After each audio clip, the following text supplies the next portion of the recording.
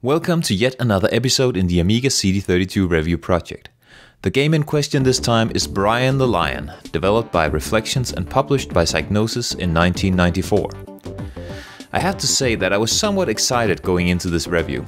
I mean, this game was created by the developers of the famous Shadow of the Beast games, which are widely known to be excruciatingly beautiful but unplayable games, so I didn't really know what to expect. In Brian the Lion, you play as the eponymous Brian, the king of the jungle. The game itself offers no backstory, but by reading the manual, you find out that Brian's position as king is being threatened by Giza, a dragon who has kidnapped Brian's best friend, Chris the Crystal. Giza kidnaps Chris in order to use his prismatic powers to 1. make himself more beautiful, because he's quite hideous, and 2. to hypnotize all the jungle creatures and crown himself king of the beasts. This won't do of course, so you set out to defeat Giza and his horde of brainwashed followers. The good news is that Brian the Lion is more playable than the Shadow of the Beast games. The bad news is that it's actually only slightly more playable. That's how I felt about the game after playing it for half an hour, and I almost put down the controller at that point. But, like when I was playing Beavers on the CD32 a while ago, I stuck with it and gave it some more time, and I ended up appreciating my time with Brian. Sure, the platforming could have been a little more tight.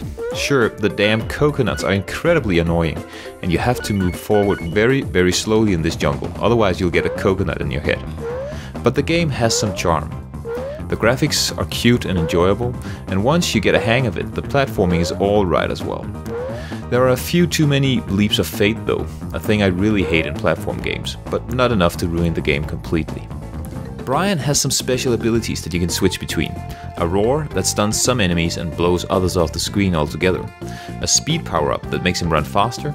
And a jump power-up that makes him jump higher and further. These abilities can be upgraded throughout the game, but in the early stages that I played they weren't that important.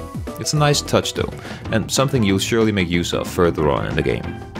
But let's take a look at what the reviewers back in the day had to say about Brian the Lion. Amiga Power really hated Brian the Lion and spent all of their two-page review talking about what they dislike in the game. They give it a 42% score, writing that it's desperately trying to be Super Mario World, with a similar world structure based on finding different exits from each stage. But Reflections have made exactly the same mistake that almost everybody makes when they try to copy the Super Mario games. They spot the cute graphics, they spot the hidden worlds, they spot the basic game structure, they spot the bouncy music, but what they all somehow manage to miss is the painstaking perfection of, hold on to your hats, the gameplay. Amiga Format didn't like Brian's game either, and they gave it a 49% score, writing that Brian the Lion is certainly big enough and bold enough to stave off the fiercest competition, but unfortunately it's also boring enough to send you to sleep. Not everyone hated Brian though, as the one gave the game an 82% score. But reading the review, it seemed that they didn't really like the game after all. They liked the graphics and they liked the sound and they liked the overall idea of having this platformer, but I don't think they liked the game. Just listen to this. This is the ending of their review. I'd be lying if I said that I hadn't deliberated long and hard over my overall mark for Brian the Lion, because at the end of the day, for all the good points in the game, there's still something missing. It's quite obvious that a hell of a lot of time and thought have gone into Brian the Lion, and it's without a doubt a very good platform game. It just lacks that certain something. I wouldn't say that I hated Brian the Lion, but I wouldn't say that I loved it either.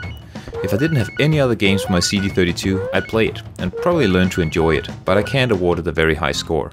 The gameplay just isn't fully there, and for me, gameplay is king, so I can't give this game more than 2 out of 5.